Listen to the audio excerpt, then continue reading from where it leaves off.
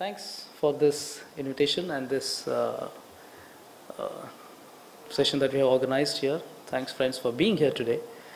Uh, we'll try to make it as short as possible, and it's much better that we have, uh, you know, a dialogue that makes it all the more easy to understand the topics. Uh, Sudhin actually has helped me to give me a takeoff. This is a story which I often talk about because people ask me, and he also reminded that, that I should talk about that, about the whole Bachchan incident. So maybe we should start with that, which some of you might be knowing, some of my friends already know, but I'll still say that because it's good to take off from there. Yeah, it's true. This was around 10 years ago. 10 years ago when I was uh, new into Iraq. I had gone there just for a six-week mission, essentially to replace uh, another colleague of ours who had been covering the Iraq conflict right from uh, the launch of the invasion on March 19, 2003. And it was going on for quite some time, and he needed a break. So I had gone to replace him because our bureau chief in Iraq had seen my reporting from Godhra at that time, just before, two years before that, from Gujarat. So probably he thought, you know, I can do some conflict reporting. So let, let's try him in Iraq. So I had gone for six weeks to replace this friend. And uh, this is when it happened. Like uh, we had, Iraq at that time was not just about the US or uh, Saddam or uh, the new Iraqi forces. It was a mess. And it's a bigger mess now. But that time it, it had already started. And uh, Americans at that time were fighting on one hand with Saddam loyalists. Saddam had been captured at that time and he was held in a US uh, prison. But his loyalists were still out there. And they were fighting uh, uh the insurgency had started, which was led by uh, Sunni Islamists uh, loyal to Saddam. At the same time, there was a group which believed that the Americans should go now. Saddam was captured and your job was done. You came here to liberate us, so you better go now. And these were uh, nationalists. Now, but they were largely Shia, Shia Muslims and Shia militias. Now you need to understand that Iraq essentially is a uh, majority Shia country. It's the second biggest Shia population uh, among the Muslim community in the world. First being uh, Iran, which is the biggest, around 8, 8 crore, which is the largest, the biggest uh, Shia country. And then you have uh, Iraq, which, which is a 2.5 crore population, of which 60% is Shias, and the rest are split between Sunnis and Kurds, as we call them. So this was a rebellion which started suddenly against the US forces from uh, Shia militias. And that was one day when we were covering, we were, we, I was told to cover this war and uh, this rebellion which was in Najaf, which is the holiest shrine of Shia Islam, where uh, Imam Ali is uh, buried. And that's like the number one, the number one shrine uh, holy place for Shia Muslims across the world. Everybody, every Shia feels at one time in his life he has to go there, just like uh, Makkah, Medina on a Hajj. So the rebellion was right there in the shrine. The militants were inside and Americans were outside surrounding and we were covering it on a daily basis. So that was the day when one of those days when me and my translator, we were uh, snatched by a group of militants. And we were taken into the desert, uh, like miles outside the whole uh, the battlefield. And uh, we were just taken into this prison open barren uh, broken down uh, mosque. It was open and the car went inside the taxi. We were like there were four or five of them and we were two of us and we were into the mosque. We entered the mosque and uh, that was scary. It was scary because there were like around roughly 150, 200 fighters, militants inside. You know, all black clad, guns, grenades, everything, totally masks. They all were completely covered. And okay, that was the moment when I thought that you know, no, this is this could be the last day. You know, we need to play it very cool. And uh, they all came running around. Who are you guys? What's happening? So the guys who captured us, the small unit of this four five guys, they were calling us as American spies, Saha, uh, jasus, American jasus. So there were agitation going. They were, they really angry, furious, agitated, and all these people are basically youngsters who had picked up arms overnight to fight uh, Americans. So there was this whole recklessness going around, you know, sweaty passion around, people are just trying to uh, barge inside, trying to hold uh, somebody grabbing here, somebody grabbing from that side. It, it, it was a big mess. And, and what I realized was that was the spot, that was the back operation center where the fighters were gathering and supplies were reaching on the battlefield front line. So that was their command center. So we were in uh, proper uh, mess out there. And then the whole thing, then we were dumped into a, into a, a room inside a mosque and not looked for quite a few long hours. Towards evening, uh, somebody knocked the door. We were dragged out. And again, there was argument going on what to do with this guy. They had taken our laptops, our satellite phones, everything, and we were totally clueless. The office in Baghdad was trying to reach us. There was no phone connectivity with us, nothing. And uh, we were totally clueless what to do. You know, we couldn't communicate outside. And the biggest problem was, I don't know Arabic at that time. Even now, I don't know, but now I can understand. But that time, I was totally blank. It was my first uh, assignment in the Middle East, not just Iraq. In the Middle East, I had never been there. So I don't know Arabic. They don't know English and the only guy who could communicate was my translator, come colleague.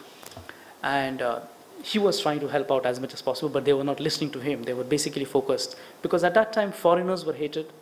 And especially if you're seen with all this equipment, high-tech equipment like, uh, you know, BGAN or uh, mobile phones and satellite and laptop, they think you're working with the American forces, you know, they will not, there is no rationality involved in arguments. You are jasus for them.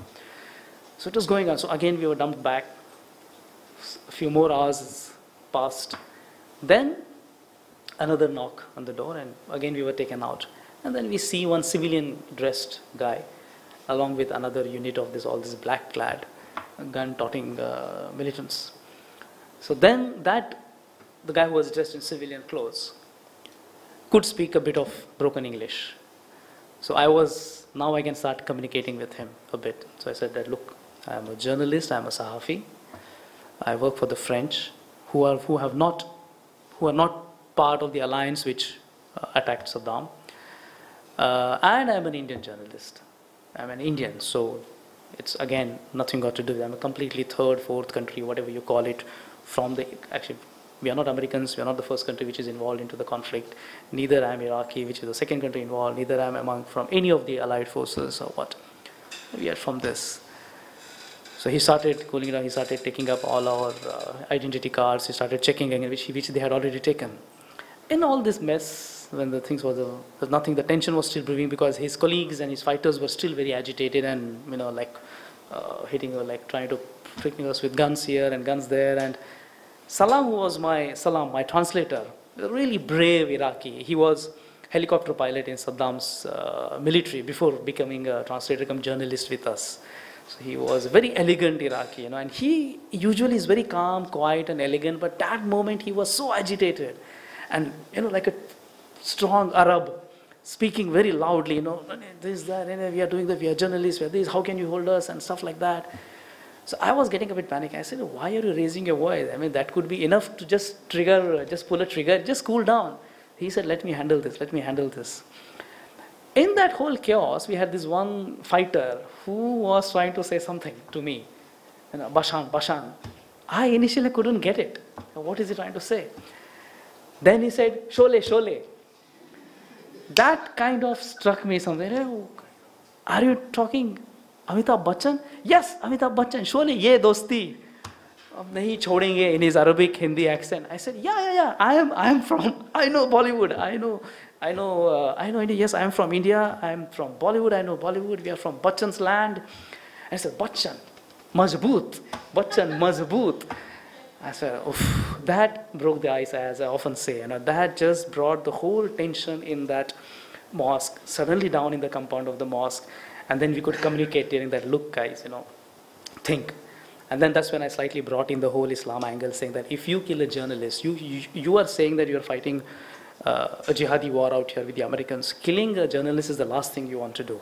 You know, you, you don't want the blood of a journalist on your hand. Doesn't serve your purpose, and uh, doesn't. Uh, it it kind of again uh, tarnishes even your whole argument of uh, holy jihad and everything. So there's no point. And then things started cooling, and they realized that we genuinely were journalists, and uh, finally allowed us to go.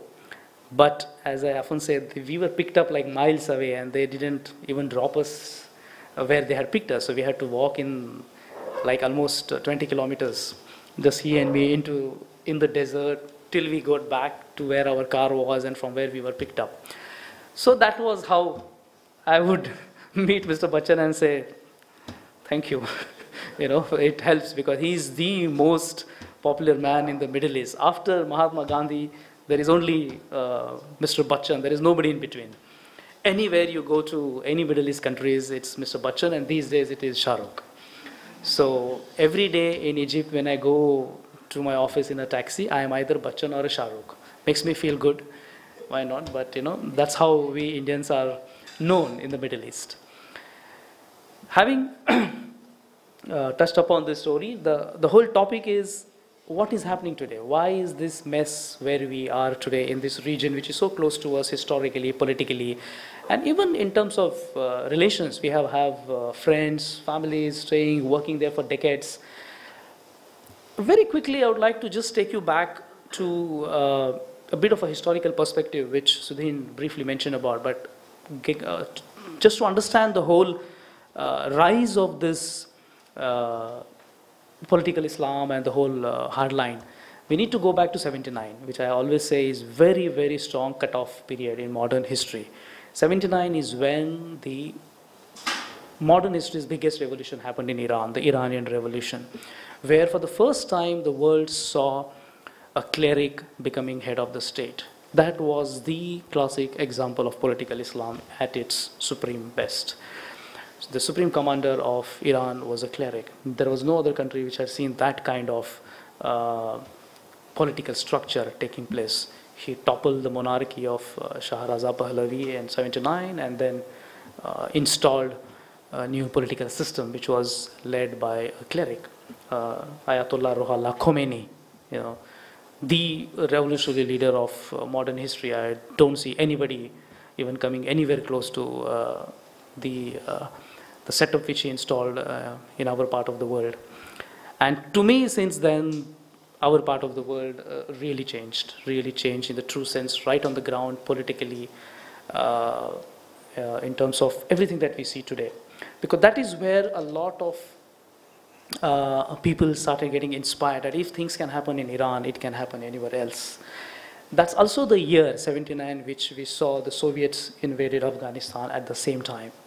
And that's when we had these mujahideens from Arab countries, including Osama bin Laden, going into Afghanistan to fight the Soviets. A very crucial time. The same year started around the same, uh, same year, just within months, few months here and there, and we started watching uh, Soviets being fought by increasing number of mujahideen fighters coming from Saudi Arabia, Yemen, even Egyptians. Uh, and uh, many other Gulf countries. And you had these, all these people going and fighting. It went on for 10 years till, till almost the breakup of USSR, uh, 89. You know, the whole, in, in fact, people and historians say that Afghanistan fight was one of the big reasons also to break economically uh, USSR. So it was such a big war. And that's the time when you had, and immediately after that, as Sudhin said, we had the Kuwait invasion by Saddam. It's the same time when Iran was again simultaneously fighting with Saddam's forces. So you had this, you know, small, small, small issues developing.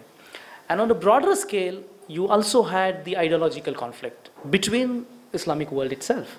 You know, as, as we know that today the global uh, Muslim population, let's say, is around 1.4 billion. Of that, 85% is Sunni Muslims and 15% is uh, Shia Muslims. Now there has been a historical clash which was never really glaringly evident in modern last 400, 500 years, but probably there was this simmering tensions building between the two sects. And that started coming on with Iran, Iraq, Saddam being Sunni, and Iran and Mr. Uh, Ruhollah Khomeini being Shia, the whole conflict started. So the tension started brewing there, ideological tension in that region. And that built up this increasingly small groups we started fighting to for fight uh, for fighting for local grievances. We started seeing it small groups fighting Saddam inside Iraq itself. Uh, we started seeing separatist movements in Iran itself fighting uh, Mr. Khomeini himself. So all these conflicts started emerging inside these two, three countries. But the biggest thing which happened, which took a decade after that, was 9 11, the second big event which changed our world. The whole thing started slowly, slowly growing in Afghanistan, where we knew that until 9 11, until the whole conflict in, so, in, in, uh, in Afghanistan, there was really no animosity between, let's say, Al Qaeda and uh, US, for example. It's after the Kuwait invasion by Saddam that things started getting bad between, uh, between uh, uh, Al Qaeda and US. That's when the first conflict started. Then the whole ideologies of Western civilization versus uh, Islamic civilization and the Middle East and the Eastern clash started happening. That's the initial background.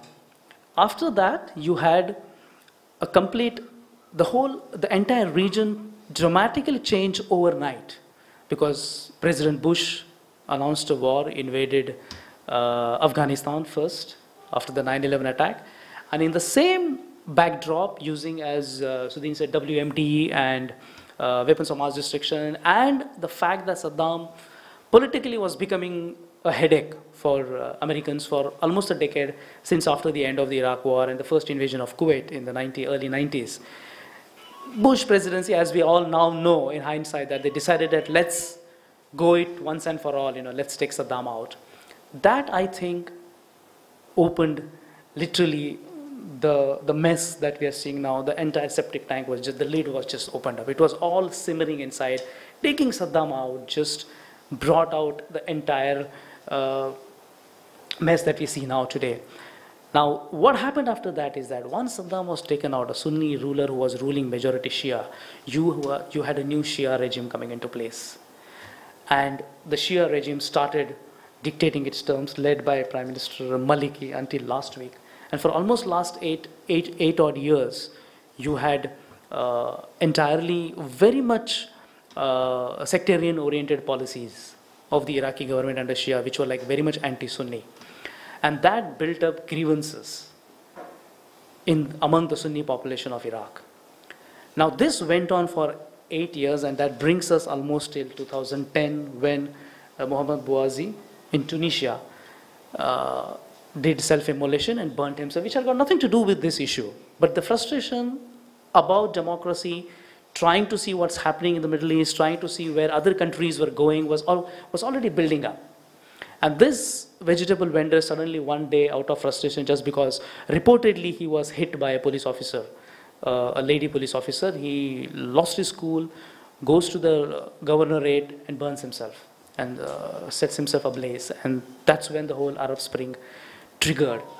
Now, what has interestingly happened, if you see in the Arab Spring, is that you have local population fighting existing regimes.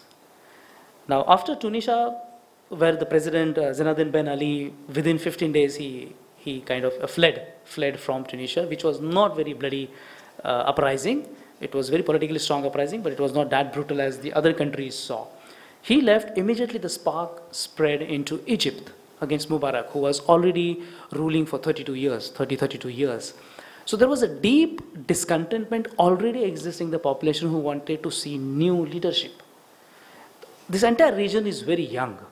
You know, majority of the population is young, exposed to modern technology, social media, which has been a, one of the biggest mobilizing factor you know, in all these uprisings in all these three, four countries. And they were tired of seeing the same corrupt face and government for decades, since their father's generation. Whether it is Mubarak, who was 80 when he was toppled, whether it was immediately in Libya, simultaneously you had uprising starting in Libya, which was against uh, the then super uh, leader of uh, Libya, Mr. Muammar Gaddafi, who had been ruling for 42 years.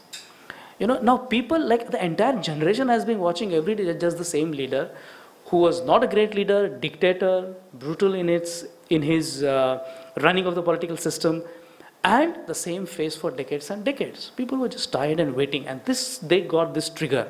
Everything started happening at the same time. Immediately, around the same time, within a month, you had a similar uprising in Syria, because there was the Assad family which was ruling for the last 40 years. Assad and his father, Hafiz Assad, was ruling extremely arrogantly, brutally. Simultaneously, the same thing. Again, Syria and Libya were the two armed uprisings. Egypt was not armed uprising. Egypt people were civilian who protested democratically at, at various squares, mainly iconic Tahrir Square, which today we has become so, uh, has, is now an iconic square that, you know, it will always be remembered for what has happened, which has taken two presidents toppled. This entire thing we now call as Arab Spring, which started in, in Tunisia and spread to Egypt, Libya, Syria, Yemen. It took four presidents within a year. Mubarak was toppled. Um, ben Ali was, he, he, he, fled in Tunisia. Abdullah Saleh of Yemen stepped down. And uh, the biggest incident of 2011 was Gaddafi's killing, head of the state being captured and killed. You know, it doesn't happen all the time in history. One of the, it's very rare uh, incidents and examples we have. Probably we had uh, Najibullah who was hanged in Afghanistan and before that Romanian president in the 70s. So that doesn't happen very much. It's, it's, these are events which changes history. You know, the, just the history of that country, of the region changes dramatically with such uh, big incidents.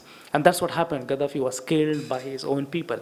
So Syria and this and Libya were armed uprisings where people, people like you and me, took up, you know, they picked up arms and started fighting their own regime uh, forces. And uh, as the uprising became more bloody, bloodier and bloodier, of course, NATO had to intervene, especially in Syria, uh, in Libya. And then you had air support coming from NATO forces led by US and France, and ground troops were entirely uh, rebels, which were the local people. And that's how finally on October 20, 2011, Gaddafi was captured in his hometown, Sirte, and uh, within minutes after his capturing, he was uh, killed. He was shot dead by one of the uh, rebels who captured him. That was the biggest uh, Arab Spring incident of uh, 2011, apart from the other presidents falling down. But what, what really happened after that and is still continuing is Syrian conflict.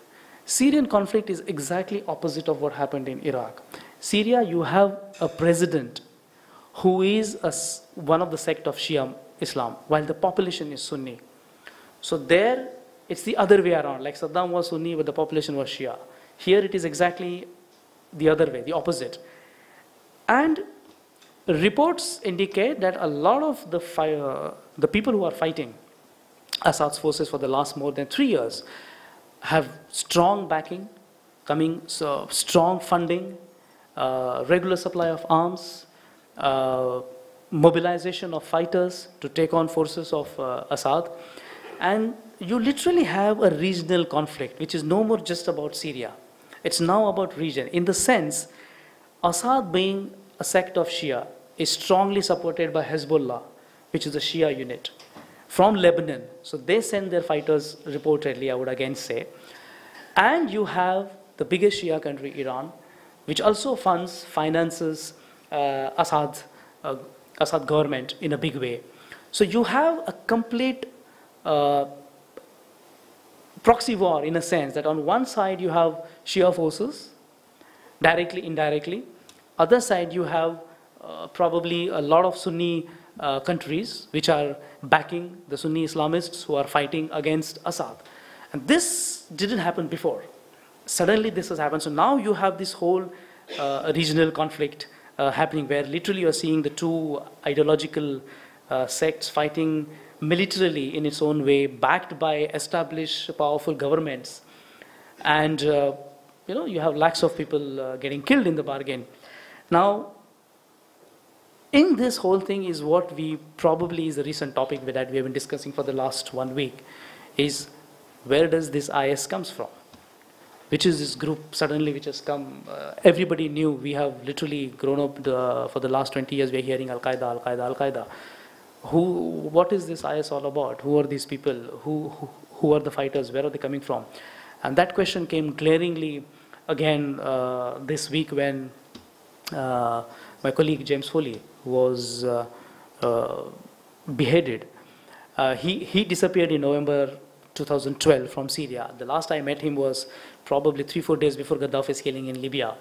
We met on the front line in Libya in Sirte, and he was with another unit of uh, AFP, and he was not just working for us, he was also working for Global Post uh, magazine newspaper.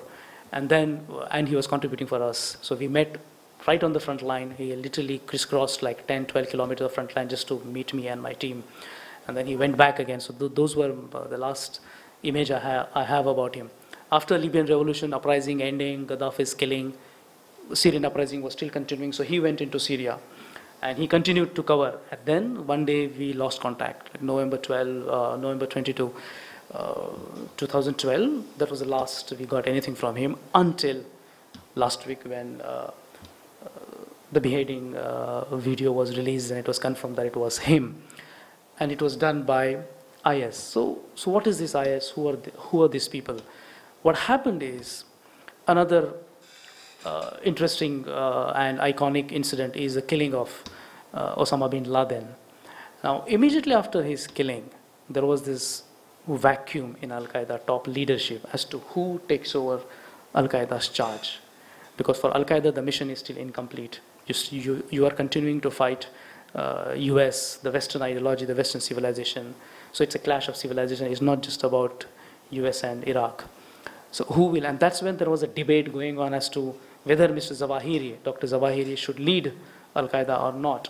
A lot of people didn't agree to he becoming uh, the leader of Al Qaeda because he is highly respected as scholarly theologian, but people, his critics say that he lacks uh, battlefield experience which uh, Osama had, or uh, Khalid Sheikh Mohammed, who masterminded the 9/11, the Pakistan uh, uh, individual who was captured for uh, for 9/11. He he was the main mastermind. So they said his critics say that you know he lacks experience to to lead a team on the battlefield, and that's when a small group kind of separated from the mainstream Al Qaeda. Also, what what Mr. Zawahiri did is that he has created small individual units. There is no more one Al Qaeda and then people and and there is one head who is sending messages across like the way uh, Mr. Laden is today.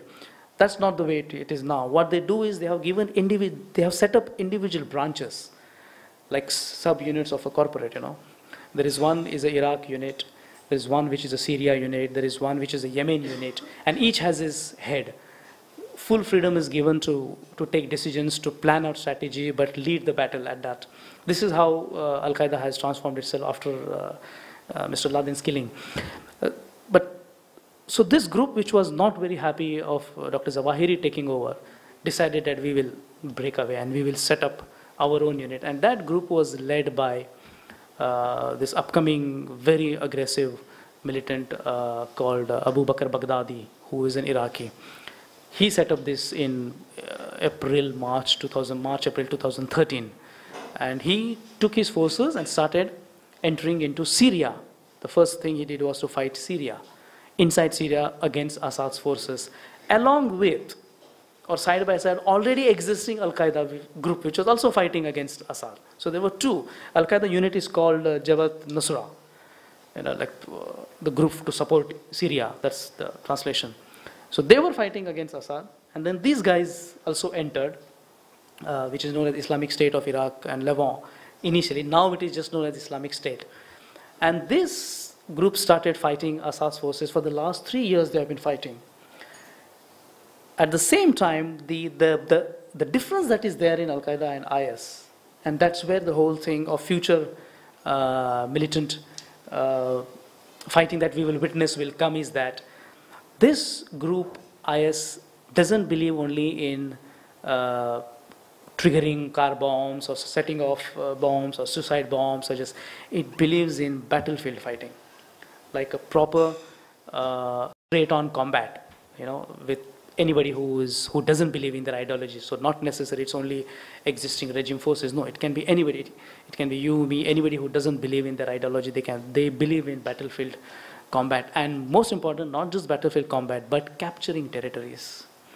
So it's been a long time we have seen something like this where they captured it. Probably uh, Sri Lanka LTT was having its own mini uh, government in the northeast of Sri Lanka. They, they were the ones who had proper capturing territory, but there has not been any Islamic militant group which captured territory and, and retaining it.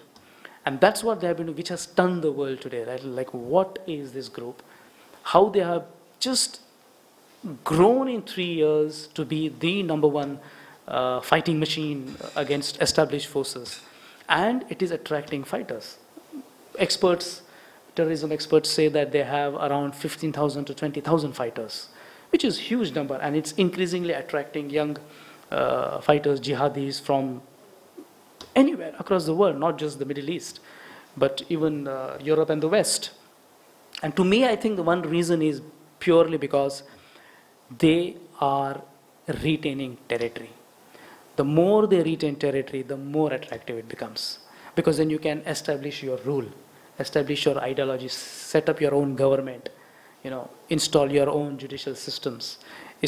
just run the entire territory the way you would run a, a country, a government, and it believes in expanding. It has already uh, lightning offenses which it has launched in the last uh, uh, six months in Iraq, for example, and three years in, in Syria. It has captured uh, almost entire northwest in Iraq, some of the biggest cities, which, which means it brings under its control some key infrastructure and assets. People, uh, experts say it, it, it already has assets worth two to three billion dollars under its control, you know. And then it has also has some territories in, in Syria, which is under its control. And it is already now establishing its rule. So last month you must have read some news saying that this, this Abu Bakr al-Baghdadi has declared a caliphate. You know, after the collapse of the Ottoman Empire, uh, the dream of a caliphate, we will, we will fulfill and he is the Khalifa.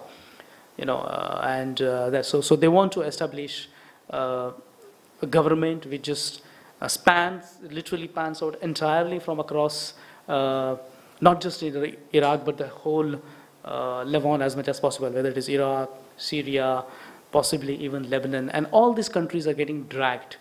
And as I said, the more uh, Abu, Abu Bakr Baghdadi becomes powerful and is able to capture territory and retain it, the more attractive he becomes. And what has really stunned is last week's beheading, which reportedly is done by uh, a British accent uh, speaking uh, militant who beheaded him is something really to watch and has really sent shivers down the Western governments and okay, like, what are we now tackling? Does it mean that we have more and more people from our countries getting into these, these conflict zones, getting battle hardened, uh, getting properly trained, and when they come back into our countries, what are they going to do? Because now it is not just about ideology, it is about ideology and rule. And in all this thing, they have, they have got an argument which happened in Egypt to some extent. And Egypt, as Sudin said, you had a democratically elected president after Mubarak's stepping down and his ouster. You had a democratically elected first Egypt's first president, civilian president in Egypt's entire history was democratically elected first time. And one year after that, he was removed from power by the military on the back of popular uprising again against him. But the point these militant groups say is that what's the point of having a democratically elected president when he's going to be removed from power? Let us capture by violence. It doesn't make sense to have democracy. You know, it can go out of the door it can go take a walk, democracy. We, we tried to have democracy in Egypt. What happened? A democratically elected president and administration was removed by, uh, by force, uh, ousted uh, within a year. He was not even given time to uh, end his entire term of four years and he was removed. Why should we be democratic? You know, and that's where the question is coming. They have that argument and that's where you are having not just people like IS, but you have a lot of small, small groups as we call sometimes the lone wolves, you know, small cells, they uh, start operating on their own. You have uh, big governments, we don't know, but big wealthy individuals who back these people across that region. A lot of time people say, what is the role of Qatar?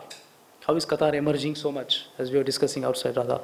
What is Qatar doing? How come it is emerging so much? On why are people suddenly talking about Qatar, such a small, tiny island uh, country, gas rich, it has tremendous wealth, it has a powerful media machine called Al Jazeera. And why are they suddenly emerging? In fact, reports indicate that uh, they had even troops in Libya against Gaddafi. Why is Qatar fighting uh, existing regimes and what is agenda of Qatar? Uh, why is it uh, supporting Muslim Brotherhood, which was the party of which the government uh, the president was elected in Egypt. So all these questions are emerging because there is a big split happening in the entire in that entire MENA region, Middle East, North Africa, where you have the ideologies clashing, and you have this strong, earnest desire to uh, make your voice heard, which comes from the people. But many times it is getting completely misguided, sidelined, sidetracked, and sometimes you just feel that are we back to square one? Like for example in Egypt, a lot of people ask, you took out an army general, former army general who was Mubarak, and now you again have a new army general who is now a civilian president, but his army. So what really happened in three years of completely traumatic uprising upheavals? What happened? Is, is a country like Egypt back to square one? I would say no. It's not, it, it has taken two steps back, but it's not completely over simply because people still are now trained or have got the strength to question. That is the big change on the ground in a country like Egypt. People question. Right now, yes, General Sisi is back. He's, he's backed by millions who want stability in a country like Egypt. But definitely the question is if he is not able to pick off the, to do something good with the economy, bring, uh, increase country's revenues, bring back the tourists who have disappeared in the last three years, and takes the economy back on track. If he's, if he's not going to do that, you never know what he has uh, issues on his hand. It's going to be very tough even for him because people are questioning. It's not the same. The clock has not turned back completely. Yes, they have taken two, three steps back. It's like literally uh, entire uh, machinery is back again, the state machinery. And we also have to understand the fact that all, most countries in this region, in fact the whole region, is literally ruled by the security apparatus. It's the police and the army which rules these countries. And people are fed up with that. That's also one of the big reasons why Arab Spring happened. People were very uh, completely uh, angry, furious with the police, uh, with, the, uh, with the armed forces who are and army generals and military uh, ruling their lives for decades and decades. And in a country like Egypt, they feel, are these people back? Is the security apparatus back? So that's the question. But then somebody like me, I feel that no, it's not completely going to be the same. Yes, things are very bad at the moment. They look very depressive, but things may change because people are questioning. Uh, so this is this is in short what's happening in that region. A lot of things we can discuss, but personally I would like to just stop one way here and then maybe take questions and then we will come up with more and more uh, angles to the whole thing. But the bottom line is that you have the ideological clashes, you have three various groups fighting. Are, on one hand, you have the jihadis fighting existing regimes. You have armed rebellion happening where people are turning into rebels fighting existing regimes. And then you also have existing forces who are combating all this. And in this entire uh, mess, you have a simultaneous mess, which is uh, the Israel-Palestinian uh, uh, problem, which is which is a historical problem, which is which is continuously going on. And that, but that's completely different, which I won't connect with this in terms of particularly, because that is to me it's a homeland conflict. It's not really about religion, you know. It's it's about homeland, which now has been colored by uh, the whole Arab-Jew conflict and uh, uh, ethnic groups and all fighting. But basically, it is a homeland. It is a Palestinian uh, desire to have a state for the last six, seven decades, especially since Israel's declaration of statehood in 48. And since then, they have been fighting the conflict. To me, it is the mother of all conflicts. End of the day, it is the mother of all conflicts. And if that conflict is solved, a lot of other issues can be uh, addressed and something can come out. But that conflict has to be uh, has to be the really uh, prime agenda of world powers to see that you know that is solved and nothing much is really happening. Even as we speak right now, the conflict is still on. People are still dying in Gaza. Uh, Gaza, Gaza militants are firing rockets in Israel. Israel is bombing them, so that's still going on.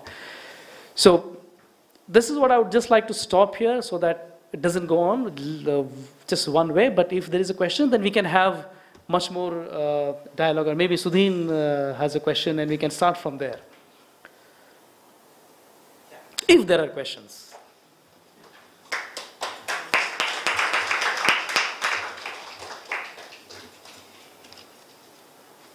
Gaza is a, is a humanitarian disaster if you have to, uh, if you really uh, understand. It's a, it's a strip which has around 20 lakh people staying and completely sealed off by Israeli forces on all the crossings for the last seven, eight years at least. You just can't go out and you just can't come in. You know, imagine you stay in your building and the gate is locked and you just can't go out for years and years. You are just inside. So just magnify that and you will see that's how, uh, how Gaza is. There's just one opening, the Rafah opening with Egypt, which is opened once in a while for medical emergencies or VIP people coming in and some important uh, uh, delegations coming and going. And that's when, uh, so that is one of the biggest problems in, in the Palestinian cause and issue at the moment. So that's when you have a Hamas group called Hamas, which, you know, which, you know, which rose up from that conflict and is now fighting Israel uh, militarily. And right now is one of the third or the fourth direct conflict going on as we speak. So this is essentially a homeland conflict where the, well, Israel feels that it is threatened by Palestinians and Arabs uh, from all the sides, while the Palestinians feel that we need a country, we need a homeland, and there is a tremendous distrust and anger between the two groups, which is which we call in international parlance as Arab-Israeli conflict or Arab-Jew conflict. So it's essentially a homeland war, uh, which is which, as I said, is the mother of all conflicts. You know, unless that problem is solved, a lot of terror-related issues will continue.